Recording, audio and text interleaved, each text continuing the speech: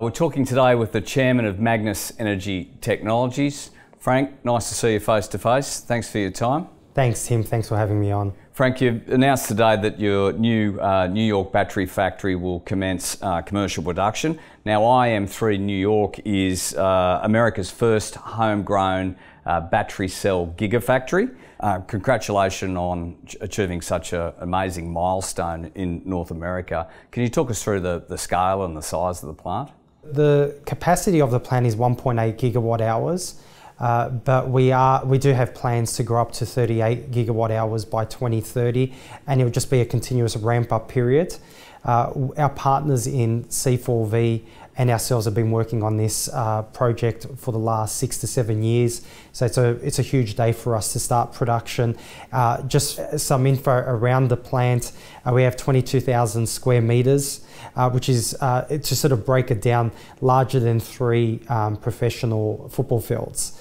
Uh, the the project also has a huge ESG aspect pretty much all the power produced comes from hydroelectric. And we've had that qualified by groups uh, previously uh, and independent groups in regards to those, um, the cells we'll be producing will be some of the greenest in the world. Uh, we currently own um, yeah, around that sort of 60% mark of the plant, and between ourselves and C4V, uh, we're above that 90% ownership um, uh, for the New York battery plant. Of course, Frank, the battery plan is a little bit late. You've obviously had to address global supply constraints and, and COVID. Can you talk through the significance of today's announcement? We, we start our production now, and then uh, we've got a, a, quality assurance period of about five weeks, making sure all the batteries we're producing, the thousands of them, are all working fine um, from a manufacturing point of view. Uh, everything's going well. We will then uh, have revenues starting towards the end of September. So, from that aspect, uh, extremely important. But then also, uh, going back onto uh, the delay, while there was a minor delay uh, with in, in the face of everything that is going on around the world, around supply chain issues, around uh, delays in shipments, uh, we think it was a, an amazing result to get into production um, within only you know four or five weeks of our uh, what was our uh, goal. And Frank, how, how, many battery cells will, will you make and have you made, and when will you get to peak production? So with the commercial production just having begun overnight.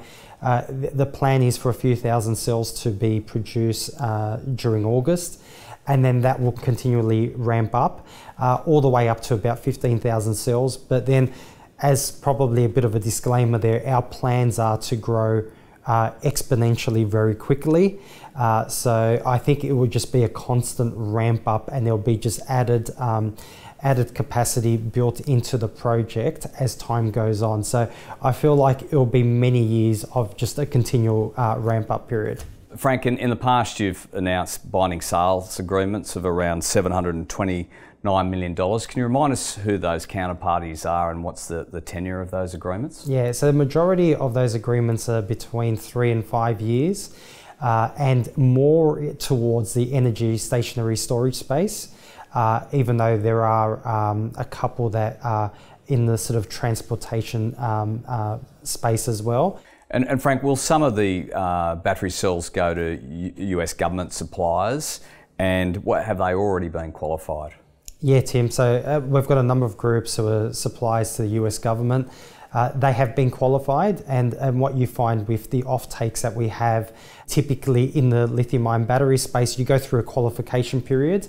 Uh, and once you go through that qualification period and they've tested your cells in their products, uh, you then get uh, off takes on the back of that. So, uh, to answer your question, yes, they've been qualified. And, and Frank, so in, in, summary, with this agreement, we're talking about a, a battery plant going into commercial production.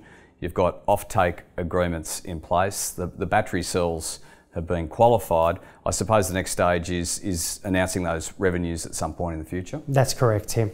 Frank, nice to see you again. Thanks for your time. Thanks, Tim. Thanks for the opportunity.